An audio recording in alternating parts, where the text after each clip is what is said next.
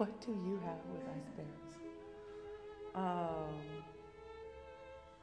what do I have? I mean, this it's the piece is more like, what do you have with yourself? It's more the question. I mean, I'm addressing people's assumptions about me and trying to like adopting the voice of the critic is what I do. What people assume about me when they see me, I'm doing it. I'm like, is that what you think? Okay, well, I'll give it to you.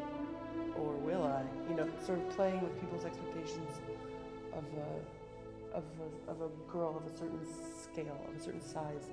I was collecting images, I mean, materials uh, that express certain things I identify with or people have identified with me. And one of them is an ice bear because once after a performance of uh, Rain in Amsterdam, doing repertory with P.A.R.T.S., performing Rain, this guy comes up to me afterwards and says, uh, "Wow, it's so impressive. You're uh, you're so tall and big, and you're running around just as fast like the little ones and dancing around. And usually the tall people are in the back, but you're all over the place. You're everywhere. You do you do everything they do, just like them."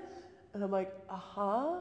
And he's like, "And and it looks so easy for you. You you can really move." And I'm like, "Uh huh." Wow, this is getting uncomfortable. he says, Can I say it plain? And I was like, I think you already did. and he says, You're like an ice bear that dances like a swan. And I was like, I was just speechless in front of his head.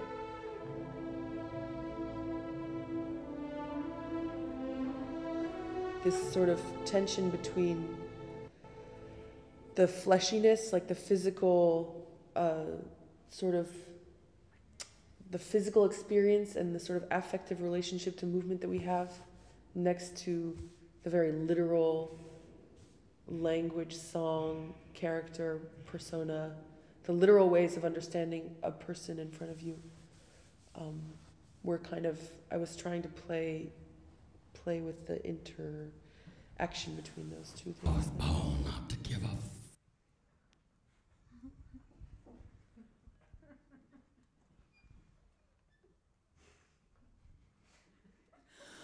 I was born not to give a f-